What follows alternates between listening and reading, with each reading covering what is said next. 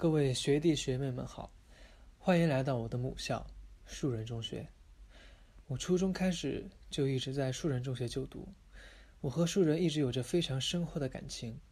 我也非常谢谢学校对我六年的培养，也非常欢迎大家选择树人中学，做下成为一名艺术生的决定。其实对于绝大部分同学来讲，都是需要勇气的。也许你们并不知道艺考有多么残酷，又或许你们已经知道了。但你们愿意放手一搏，不管怎样，只要决定去做，就要对自己充满信心，对自己的选择坚定不移。同时，树人中学也会竭尽全力为大家提供最好的教育和最贴心的帮助。这里的每一位老师都非常的认真负责，都像自己的父母一样，真心希望同学们好。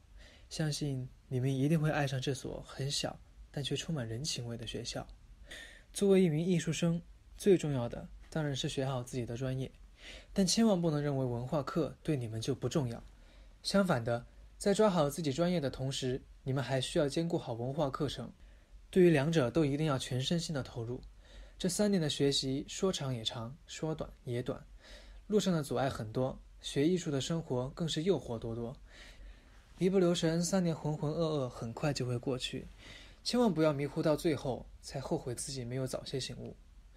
所以建议学艺术的同学们：一、付出比同学更多的专注和时间放到学习上，要始终记住我们学习的时间比别人少很多；二、学习要趁早进入状态，高一开始就不能懈怠，因为我们没有完整的高二和整个高三上，我们缺失的时间正好是别人发力的时间；三、没有好的基础，不要指望高考最后冲刺会有太大的效果；四、学艺术看似简单。但要真正学好艺术，其实是非常辛苦的。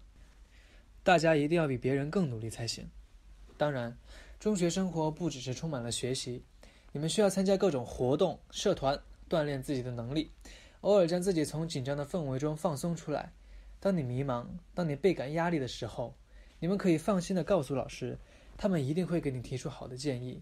死读书绝对不是一个好的选择，重要的是提高学习的效率。所以。一定要学会适当的放松，拥有健康的身体和保持良好的心态比什么都重要。